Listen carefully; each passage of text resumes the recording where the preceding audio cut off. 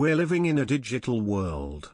Most of our global economy is digital and the sheer volume of data is stupendous. It's 2020 and we're living in the future. Data scientist is one of the hottest job on the market right now.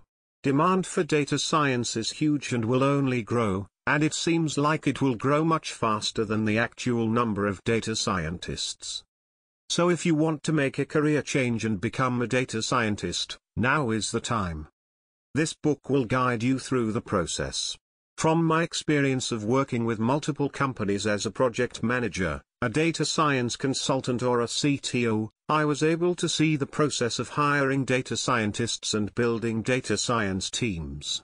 I know what's important to land your first job as a data scientist, what skills you should acquire, what you should show during a job interview. I will share this knowledge in this book, so that you too can join a wonderful world of data science, truly a market of the future. If you'd like a quick summary of how to become a data scientist, here are three steps. Build your repository on GitHub and start an open source project. You can take a dataset from Kaggle and build something around that. Usually classification problems tend to be easier. This will allow you to hone your skills and show a potential employer your engagement. Engage in Facebook and LinkedIn groups about data science and machine learning. Try to find meetups and conferences near you and attend them to meet more people. It's always good to have someone to guide you.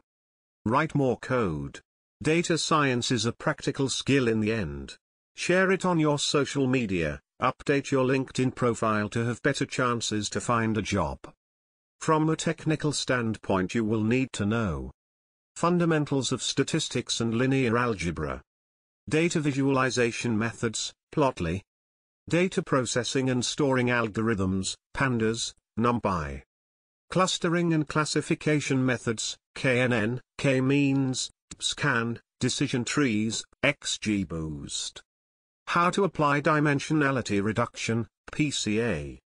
Basics of neural networks, Keras. That's it. I will discuss it all in detail in upcoming chapters. Also in the very last and long chapter I have included a data science crash course, which will give you the necessary theoretical background for entry-level data science jobs. Let's start the adventure.